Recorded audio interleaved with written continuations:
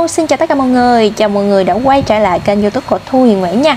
Hôm nay thì mình sẽ làm cho mấy bạn xem một cái clip phân biệt hàng thật hàng giả Serum Collagen X3 à, Đông Anh nha mọi người. À, Đây là serum vua trị nám mụn thâm.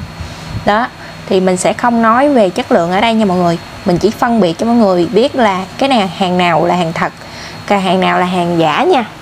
Thì hiện tại á, hàng à, X3 Đông Anh á công ty đang gặp cái ờ, vấn đề trục trặc, cho nên là hàng phân phối ra ngoài rất là ít. Vì hàng khan hiếm nên là một số người bán ờ, người ta sẽ đi gia công sản phẩm, giống như sản phẩm X3 vậy, có nghĩa là làm hàng nhái đó mọi người, giống tới lại ờ, 99% để mà bán ra thị trường. Nhiều người mua mình không biết, mình nghĩ là ừ công ty thay đổi mẫu mới, mẫu mã này kia không có nha mọi người thực chất là hiện tại công ty đang gặp trục trặc vấn đề vì dịch á. Nên là hàng á thì rất là khan hiếm. Nên là bây giờ á, người ta thấy khan hiếm mà khách tìm mua nhiều nên là người ta sẽ tìm mọi cách để mà có hàng để mà bán cho mọi người. Đó. À, nên là mình mong qua video này thì mọi người có thể uh, mua mà mình xem xét để mà mua hàng đúng nha mọi người. Bên tay phải mình á. Đây hàng thật nha mọi người hàng thật nè hàng giả nha mọi người. Đó, mọi người sẽ thấy hai cái sản phẩm này rất là giống nhau. Bây giờ mình sẽ mở cái ờ, cái vỏ ngoài hàng giả ra để cho dễ phân biệt cho mọi người. Hàng giả thì người ta sẽ có một cái lớp ở ngoài vậy nè. Nói chung là tùy nơi gia công thì người ta sẽ có nha. Đầu tiên á, nhìn vô này mọi người sẽ thấy thì ờ, hai cái tem này nó khác nhau, ha. Cái tem khác nhau như cái tem nè. Cái tem hàng thật thì nó sẽ nhỏ hơn một xíu nha mọi người tem hoàng thật nhỏ hơn. Mình sẽ thấy là cái cái giọt nước nè giọt nước hàng thật thì nó có hơi vàng vàng ngay chỗ đầu nè mọi người. Còn hàng giả thì không có ha. Mình sẽ xem qua mé bên đây nha mọi người. À, nguyên khúc chữ này là hàng giả in khúc này với cái đuôi này à, kiểu như nó bằng nhau. Còn hàng thật có mọi người sẽ thấy là nó in lọ xuống vậy. Mình không biết là mấy chai khác á, nó có in vỏ vậy không nữa mọi người. Nói chung á, bao bì nhiều khi in nhiều khi không chuẩn tùy cái. Hàng Việt Nam khó phân biệt là cái ở đó, mọi người. Lúc trước mình đã nói rồi á. Mà mấy cái đó thôi, không quan trọng hơn chủ yếu là cái tem nè, xem tem nè, tem màu hồng.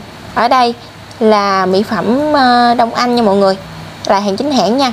Còn tem màu xanh là hàng giả nha mọi người. Rồi bây giờ á, mình check ờ, hàng thật cho mọi người xem nha. Mã QR nè. Đó một cái link như thế này mình bấm mở. Mọi người, khi mà mình đó, hàng thật nè. Đó còn hàng giả nè.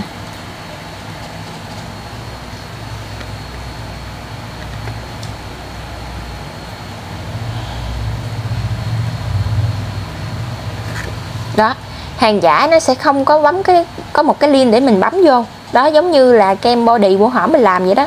Hàng giả nó sẽ có chữ sao chép giống như nè. Đó nó không có mình bấm link nó không có vô được mọi người. Đó với lại cái tem á, hàng thật nó làm sẽ làm công ty sẽ làm màu hồng.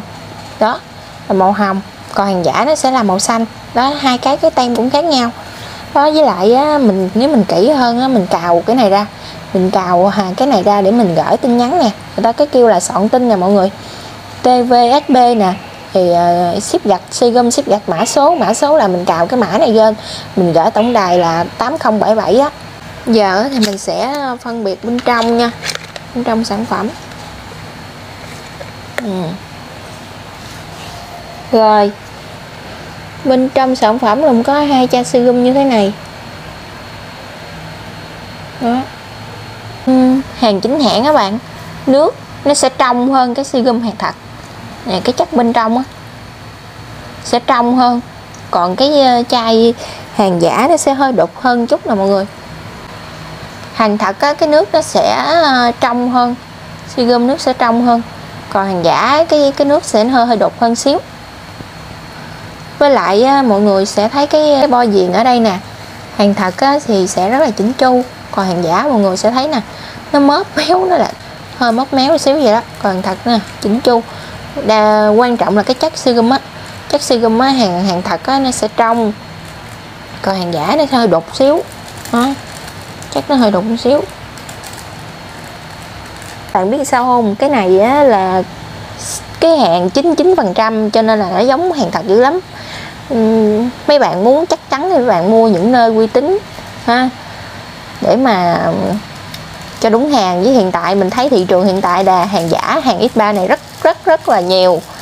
Ai mà bán hàng mới biết cái nào giả, cái nào là thiệt mấy bạn. Mình nói thiệt luôn á. Bản thân mình là người bán hàng, mình biết cái nào thật giả, cái nào thật. Tại vì mình lấy, mình biết cái giá đó rồi mình biết hàng giả, hàng thật.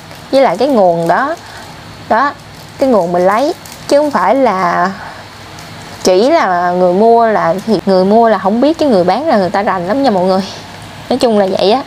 Rồi video hôm nay thì ngắn gọn vậy thôi. Mọi người thấy hay thì nhớ like, đăng ký kênh ủng hộ mình nha.